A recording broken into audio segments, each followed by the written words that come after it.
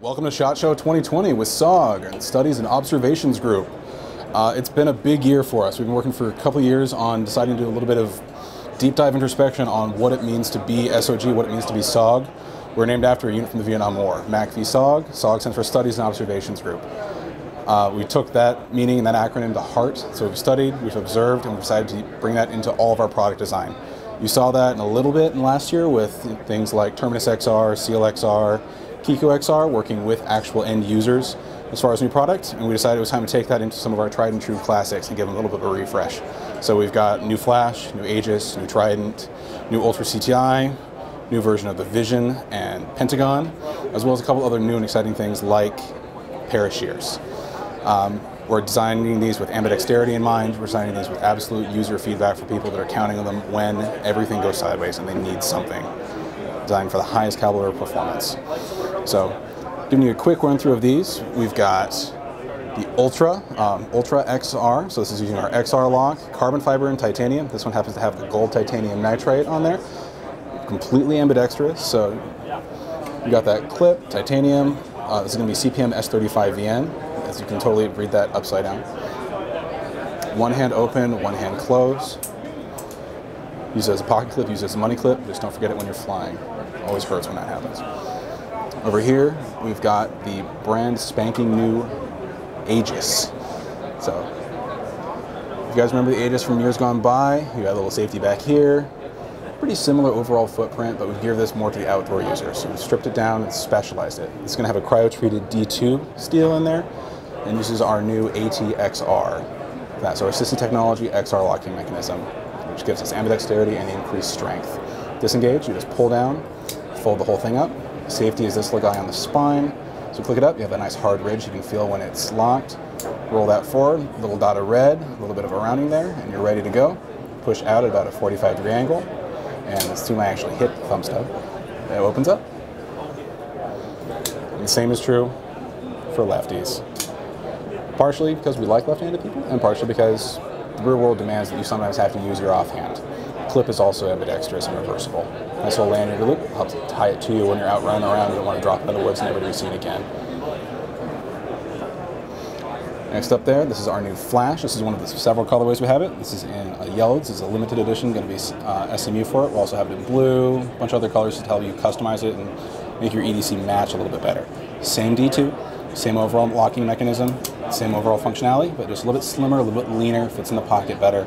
It's not something you're going to wear with cargo pants. It's something you're going to have when you're running around basically a city for it. This is part of one of the flagships of our EDC line, along with the Terminus XR. One hand open, assisted opening close, XR lock, full ambi.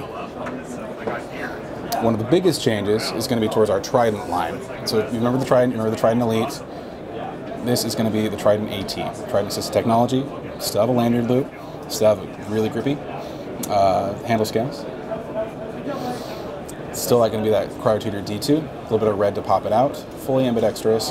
And for the Trident series, because it's geared towards people who need it when situations matter most and are most dire.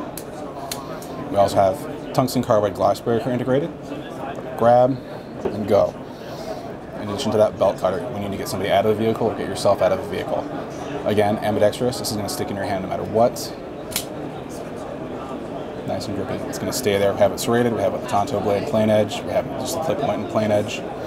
Also that cryo-treated D2, just like with the Flash and the Aegis.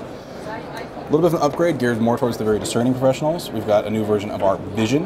This is going to be the Vision XR. It uses the XR lock that we use on the CLXR, uh, Terminus XR, everything has that XR following it. There's no assist here at all. So fully manual, in case that's a problem for you. This is going to be a cryo-treated XHP. Still ambidextrous, but the XR lock uses lock strength, or has lock strength. That caps at around 2,000 pounds. It sort of depends on the model of the knife. Obviously, the thicker, beefier knife, the more lock strength you have with it.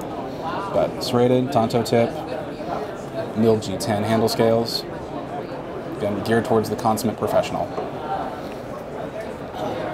And then last but not least, for sort of new and exciting knives that we've got going on, that's the big splashes and revitalization, revitalizations of classic designs is going to be the new folding Pentagon, or the Pentagon XR. This is also going to be in that cryo-treated XHP. Still uses that XR lock, so you've got those three ways of opening it. Use the thumb stud, Use that back flip, pull on the lock and rotate it out. Clearly I need to play with this one more. That, a little bit of timing, a little bit of getting to know you for anything new and exciting. And as far as tools used for professionals, we've got Parashears. I was part of the testing process on this. I've put mine through about 200 feet, linear feet of rawhide. You've got one hand deployment and closure. Just depends on how you want to do it. Pouch lets you store the tool either open or closed. In addition to the shears that use our compound leverage for it, you've got a host of other goodies tucked in here. These are not something that you're necessarily going to use when it's hugely dire, but it's nice to have integrated.